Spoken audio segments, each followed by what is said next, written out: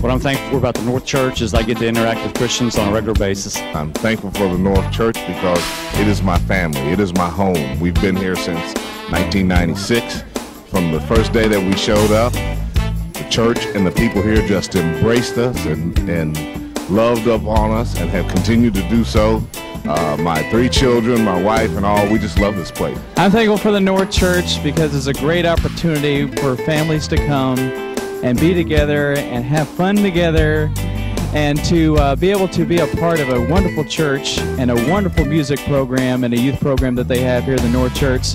I'm thankful for the North Church because they provide early morning prayer and uh, it really brings the presence of God into my life to start the day. And I'm just very grateful that the doors are opened early for that. What I'm grateful for is the teaching, the classes that we have here. Thank God for all our teachers. What I'm thankful for at the North Church is the many people that are here that can help you with anything and you can be able to go to anybody and talk to anybody about anything. I love that. What I'm thankful for for the North Church, actually there are several things. Uh, probably the first thing is the, the presence of the Spirit of the Lord here in every service. That is just awesome. And of course our pastor is just is the best pastor in the whole world. What I'm thankful for at the North Church is that I met my lovely wife here. We love the North Church!